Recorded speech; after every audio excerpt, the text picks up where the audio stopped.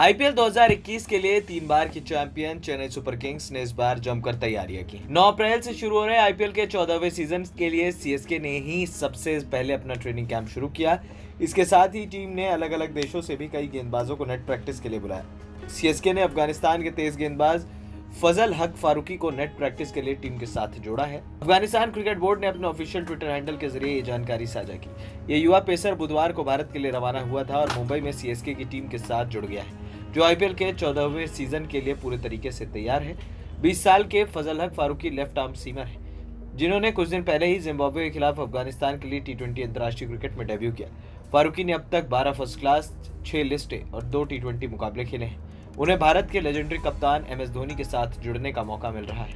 IPL 2021 के लिए CSK के खिलाड़ी मुंबई पहुँच गए हैं। टीम का पहला मुकाबला 10 अप्रैल को दिल्ली कैपिटल्स के साथ मुंबई में खेला जाएगा। टूर्नामेंट के शुरू होने से पहले सीएसके की नई जर्सी लॉन्च की गई। सीएसके की जर्सी में पीले रंग के साथ साथ इंडियन आर्मी का कैमोफ्लाज भी जोड़ा गया है। जर्सी में कंधे पर कैमोफ्लाज रंग को जगह मिली है।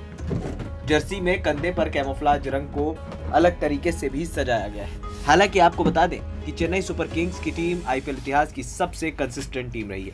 लेकिन पिछले साल चेन्नई के लिए सबसे खराब आईपीएल का सीज़न माना गया था, क्योंकि सीएसके की टीम पहली बार आईपीएल इतिहास में प्लेऑफ्स में अपनी जगह बनाने में असफल हुई थी। ऐसे में इस बार देखना है कि धोनी एंड कंपनी क्या कमाल कर पाते हैं इस IPL season. ANP news room की रिपोर्ट। Thank you.